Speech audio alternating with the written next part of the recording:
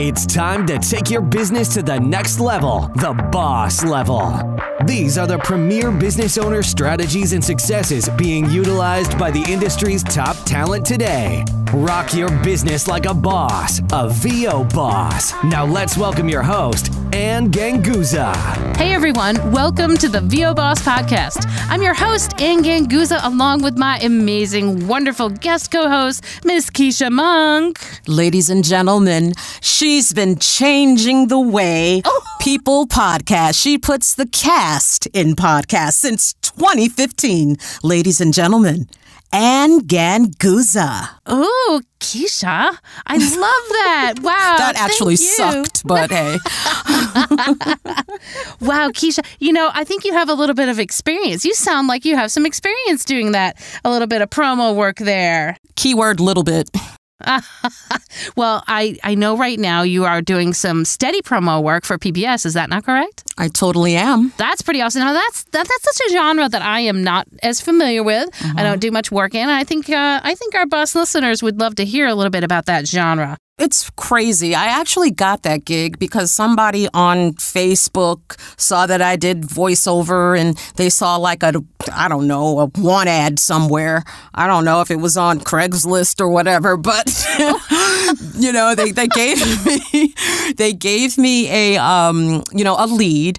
And at the time, I really didn't have a promo demo, so I just kind of faked one a little bit to just give them a little bit of sample. Sure. And they hired me, and I've been doing this is like my I'm going into my fifth season next year. Wow, that's amazing. So I know you're doing one or two series, or what's? Tell me what what what you've done in the past. What it is is I am the promo voice for. POV. POV is a documentary series that um, airs on PBS. I think it's they've probably been doing it since like '88. So I don't know how long that is. 30 year, 30 something years.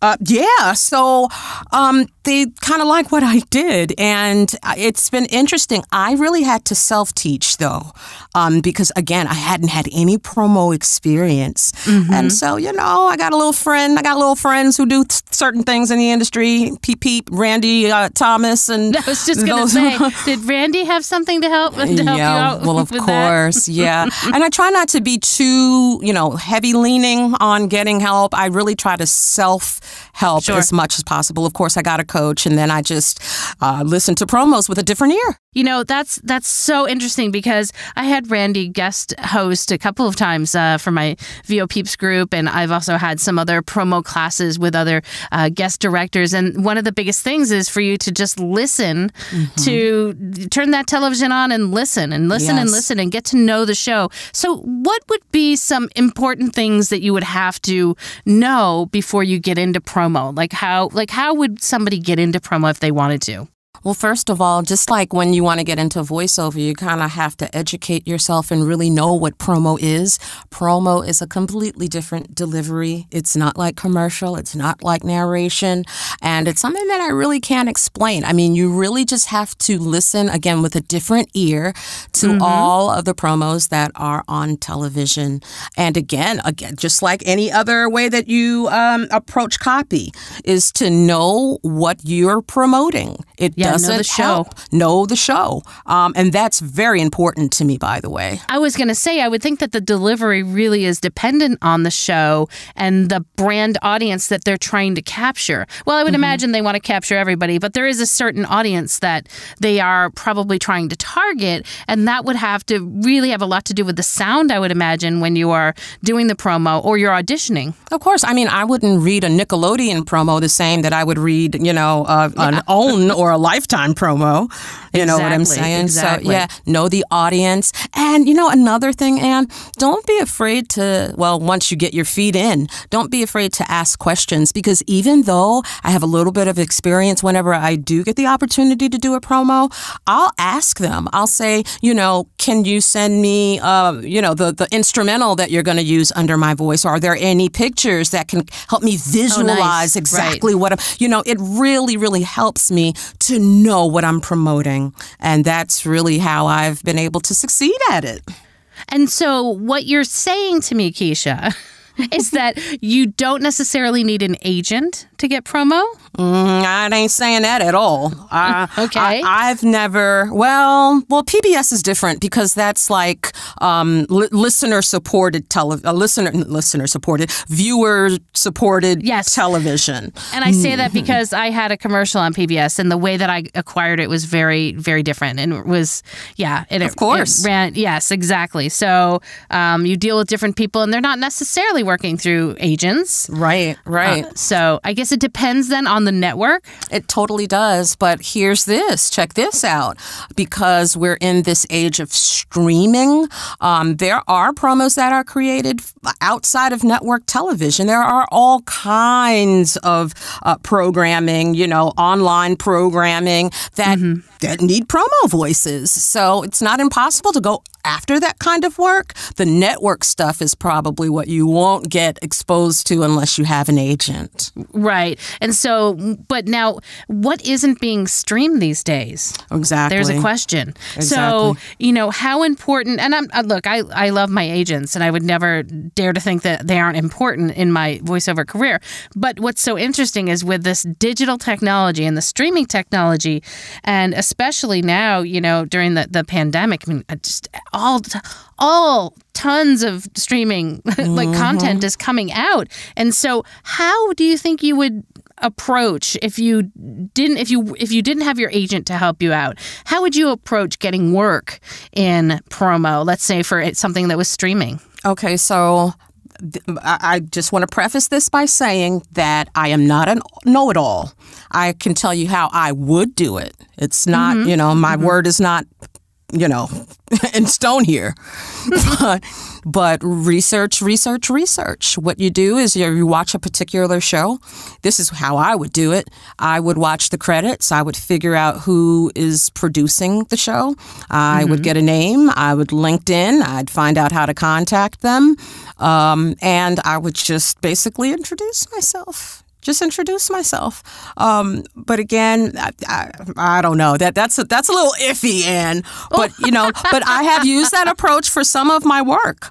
I just figure out who who are the guys behind the production board. You know, networking is such a, a wonderful thing. And I know that we, you know, we have another podcast on this, but I will bring up, I'll say the word and I'm going to, I want you to just take a deep breath, Kesha, because I know how excited you get. But let's just say Clubhouse could be an amazing way to network with people like we were just talking about. There's some heavy hitters there. Absolutely. It could be an amazing way to network. And what I really like about it, and, and I, I know you're going to be able to go off on this, um, it, what I really like about it is that it, it, it can be such an authentic platform to get to know someone. And it's so not like right now it's, it's, I think it's in its infancy and it's in that, that stage where it hasn't been spoiled by marketers. and I say that with the most love in my heart for marketers because we all market our own businesses, of right? Course we do. But yeah. what we don't want is that platform to all of a sudden become spoiled by all of a sudden people are going to be marketing on it or people are going to be completely selling things on it, which is what everybody you know laments about uh, on social media. Is like, oh, here come the ads, right? Mm-hmm, so mm-hmm. while this is an unspoiled platform right now, this is an amazing opportunity to really network with some heavy hitters, like you told me before that you had got a contact at NBC. Um, that was like just reached out to you and and boom i mean it was it was it didn't seem to take a whole long time. so you know, actually, th- this is what I would do. This this, this is kind of crazy you get a name, right? You hear a name, you're mm-hmm. watching a program, and you're like, oh my God, I would totally love to do promos for this network. You wait for the credits, you grab a name, you take that name, you plug it into LinkedIn. You look at their, you look at look at their resume, and not only mm-hmm. that, see who your common contacts are. Reach out to your common contacts. Hey, do you know Joe Schmo from you know Lifetime? Uh, do, do you think that he would be interested? I mean, can you introduce me? So forth and so Absolutely. on. I also do the same it with Facebook. Just plug a name in, pull up their profile, see who my common friends are, um, and then see if they're on Clubhouse. And then that way you can hear them talk, you can hear them speak. I think that, that you hit the nail on the head there is is find the common contacts because uh, a friend of a friend or you know a contact of a contact is a great kind of way to get your foot in the door uh, without coming in with a cold call, so to speak, or a cold, you know, um, Yes. connection, which I think is so Mm-hmm. difficult. And I know that myself, when somebody just reaches out, I'm like, what do they want? You know, like, what, what are they trying to get from me? And it, it immediately kind of, I, I repel. But if you have a contact of a contact, I love how you said LinkedIn, because that's a great way to see your common contacts, as well as Facebook, your friendships, um, as well as, well, I always say, you know, Google is, is so simple. Um, and the more that you, the, I would say, do your searches in Facebook and LinkedIn first and find out like maybe more in depth information about them and the company, uh, the network that they're working for, and then. And then you can plug that into Google and maybe get some more in depth information. Yep, that's how I would do it. And it totally works. I've done it many, many, many times. Certainly. I think that's that's just a, a really like great out of the box no, way. no, let's call I it what it think. is. It's genius. Mm-hmm. It's call it what it genius. There call a spade go. a spade. I love it. I love it. It is. ge- It really is genius because I. I I don't think you're going to be able to get this type of work from, let's say, a, a, a pay to play. Although you did say that it was some ad somewhere along the line. Now, Kesha, I'm going to bring up a, a thought because of uh, you know this day and age, we have younger people obviously that are you know getting into um, working and and doing creative endeavors and possibly hiring us. And so, is it possible um, that maybe we can reach out to them on those platforms um, to try to understand how we might get in front of them and present them with our services without you know making it be annoying? Well, you know, using social media to contact it, it is really, in a sense, untraditional. Um, remember back in the day when we were were young chaps, you know, we would have to, you know, write a letter and put a stamp on the letter and Absolutely. and send a print. You know. Send a print. What CD? Our, our demo CD out in the mail. Absolutely, yes. That's right. We don't And do that so- anymore. Yeah, and so although I'm sure many of my colleagues would frown upon that, I embrace that. And the reason why I embrace that, Anne, is because I've done it. I've done it and it has worked. Now, I'm not saying get crazy. You know, you really still need to figure out a professional way to approach them on Sure. social media. You know, I wouldn't go, you know, commenting about somebody's husband. Hey, girl, your husband is sure is a cutie. You know, I wouldn't do that. But, um, you know, oh, and by the way, are you hiring? You're looking and for voices? Way, oh yeah, and Right. by the way, what about those platforms that tend to have high search engine optimization, like I'll say it, Fiverr or Upwork or you know freelancer or those you know you said you said before it might have been posted on Craig, Craigslist or something, but Right. I mean people do. I mean it's it's rare, but I have heard of people getting really good jobs. So here, here's you know, my from thing. postings on those platforms. And Absolutely. And, so why And not? That's I the mean- reason why I don't, I would never discourage someone from doing that because, you know, it's not impossible. But for me personally, I do better in, in, in in spaces that aren't so crowded. It's easier for me yeah. to stand out if I'm not in a room with 500,000 other voiceover artists. If you have that type of patience, absolutely go for it. But I tend to to fill voids. I tend to I sneak in a lot of back doors. Well, and I think what what I'm learning about you, Kesha, is that really it does like first and foremost, your relationship is how you start to strategize getting work, and that's really unique. I mean, gosh, I've been we've been doing this. I've been doing this for so long, and and we always talk about relationship and networking, and relationship and networking. But a lot of times we think of that networking as networking with ourselves. Let's say like at a voiceover conference, nobody really thinks about it as networking for your potential client. Like, you know, a lot of times people say, well, I've, I've done LinkedIn and I've tried to contact people through LinkedIn, but you really look for that additional like way in. Like, let's find the friend of a friend or the contact So- of a contact. So here's the thing. Get in I- this I- way. I, I don't mean to, to interrupt, but I will forget because I'm an old lady and my memory is bad. Here's the difference. I'm just being honest. Here's the difference. for you know, for those who are on Fiverr, those that space is for people who prefer opportunities to come to them. Mm, yeah. I am the opposite. I like to go for the opportunities. If that makes any sense. Because Sure, on Fiverr, you make a profile and you, you kind of tell them what you cost and you kind of sit there and you wait for people to contact you. I ain't got that kind of time. I'm 50 years old. Like Mm-hmm, I only got a good 50 years old, le- uh, 50 years left on this on this earth. I do not have time for the BS. I have got to grasp, grab, and sneak into as many back doors as possible. And I gotta, Yes. you gotta be, you, you know, you gotta be a go getter. You gotta seize and the, the, back moment. doors and and the back door is important. I'm just going to say that. Oh, yeah. The back door is important because if you try to attack it the front way, a lot of times that comes off as cold calling, cold emailing, and that is, I think, so much more difficult. I think, I, I think, I really love the fact that you try to find the back door and the and the commonality, um, the commonality of the relationship to to find an entry point or a way in. This is why I'm so excited about Clubhouse, and I know that's why you're so excited about Clubhouse. When I and literally when I when we talked about it the other day when I was on it and I I literally just said, "Oh, let me enter a room," and it, like with my shaking, you know, index finger because it was my first time in a room. I didn't know if my microphone was going to be on. I said, "Let me just try it," and the second I heard. What was going on in that room? I was like, "Oh my god, this is brilliant!" Your antenna Why? went up, right? Your antenna Why went right have up. we not had this before? What a brilliant platform! And you need to hop on board um, while it's while it's uh, fresh. do we have a time? Do we have time for a really, really quick story? sure, Because we're talking about back doors. So if you're familiar with Clubhouse, you know you can kind of like just be a regular old person on Clubhouse, or you could be the founder of a club, right? We all want to try to aspire to get that VO Boss Yes. Club, right? Oh, we're absolutely doing it. But the way you do that is you have to submit an application. Okay. And so I submitted an application for a club and I waited and I waited and I know they're overwhelmed and I'm like, gosh, nobody is going to ever get to my application. So let me tell you what I did.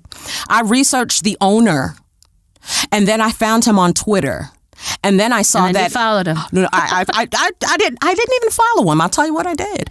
He he has another page that del- deals with hereditary disease, and I'm kind of familiar with hereditary mm-hmm. disease. So mm-hmm. I approached him on that page Absolutely. where There everybody is hanging mm-hmm. out on his main page. I I sent him a message on his hereditary uh, disease page, and I said, "Hey, kudos for you, you know, finding this page. Oh, by the way, uh, I heard you have a little something to do with Clubhouse. I said, hey, listen, I have this application. I don't know if you can nudge somebody because he's the owner. Mm-hmm. I'm sure he's not approving applications. I said, I would really appreciate it. Clubhouse has made such a tremendous difference in my life. And girl, the next day, my application was approved. He never responded. Nice. I don't know if he had anything to, I'm sure he did. And I don't believe in happenstance, but you got to find a back door and slip in it. Let's kind of come back to your, you know, acquiring work for promo work. Tell me about, like, I guess if you are selected as the voice, right, of a particular show, um, then it would it would seem to me that you it would be a fairly steady work. And and is it a, I guess depending on the show, is it is it work that you do every day? Is it work you do once a week, or is it, you know, I, I imagine that the the workload is much different for a, for a show than it is for me doing e-learning or a corporate narration or a commercial. Right. Well, well, the promos that I've done, particularly, I mean, you know, have been just for like one-shot deals, for like a special on OWN, or you know, a one-time, um, you know, viewing party for something or the other. That's just been my experience. Of course, I'm going to pounce on my agents to try to get me more promo work this year, but that's just been my experience. And then, of course, with PBS, that's you know, season work. So I just get scripts every couple of weeks. How is the market in promo? Do you feel that there is a lot of opportunity? Are there is there a lot of work? I mean, I guess it's dependent on. I mean, I like the specials, and I think now um, people are really concentrating on the entertainment value while we're all deep into the pandemic here, because it's it's our one. It's what we have while we're here at home. I think that they've been doing. A, they've been really doing a lot of good work for television um, in bringing content out. So I think I would hope that that would increase your um, opportunities for promo. Well, as long as there's programming, there'll always be promo. And because of the climate that this country has experienced over the past year, I've seen an uptick in promos because there are a lot more specials and a lot more, Right, you know, right. programming with regards to the de- uh, pandemic and the racial unrest and and the and the and the, the um the um, come on the election and, and stuff like that. Sure. And so oh, very much specialized content. Abs- Absolutely. That's what I'm trying to say. A lot of Mhm. Yep. specialized content. So there'll always be work. As long as this world keeps going bat butt crazy, we'll all always have work outside of the regular, you know, uh, uh, you know, SNLs and the, the Dancing with the Stars stuff. You know. So then, if you get a if you get a job, if you get the gig for for a particular show or special, is it you know twenty four hour turnaround time? Is it I need it yesterday? Is it uh, you know um, multiple sessions that are directed? Uh, you know, uh, three It just days really in a row, or- depends. It's all of that. Does it depend? It, it's it's all of that plus more. Um, again, when it comes to the specialized content, they definitely need it yesterday. And Mm-hmm. you know, it's it's just somebody could want to do a directed session, but also what I've noticed is a difference in how um, they they are uh, because of you know it's things are needed yesterday. A lot of times they don't even have time to, to dial in, so they they trust you as Right, long as like you do it. Yeah, Mhm. as long as you you know you have a good space and a good mic, and they, they know you, and they have to get to know you with regards to the kind of content that you're able to produce. Um, but Well, yeah, that, yeah, that was my next question. So let's just say you get in good with an, on, a- on a show um, that's you know maybe it's not a special, but it's a, a show that's continually running, and you're, it's with a particular network. Do you stand a better chance of getting more work from that network because they're familiar with your voice, or you've been employed, you know, doing that? Yeah, I was just gonna say. So then you don't necessarily have to maybe audition. They might say, you know what, Kesha, you'd be great for this new show that we're going to be, you know, promoting, and boom. that So literally just that the- happened to me. yeah.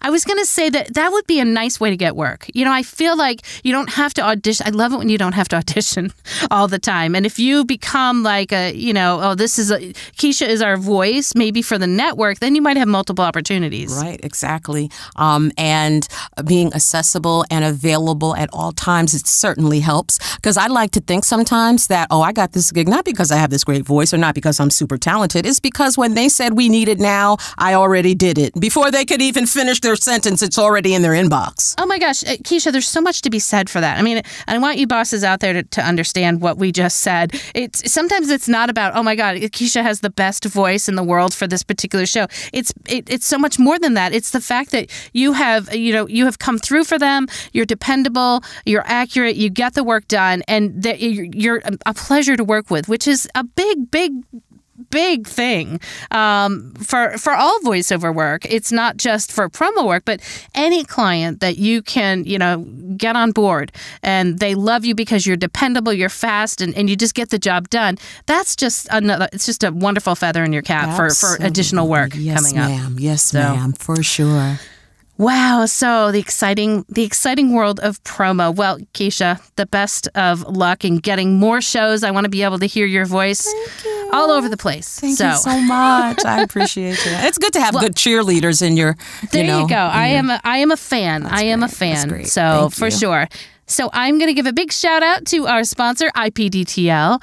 Uh, you too can learn about IPDTL and connect and network like a boss. Find out more at IPDTL.com. You guys have a great week, and we'll see you next week. Bye. Join us next week for another edition of VO Boss with your host, Anne Ganguzza. And take your business to the next level. Sign up for our mailing list at voboss.com and receive exclusive content, industry revolutionizing tips and strategies, and new ways to rock your business like a boss. Redistribution with permission, coast to coast connectivity via IPDTL.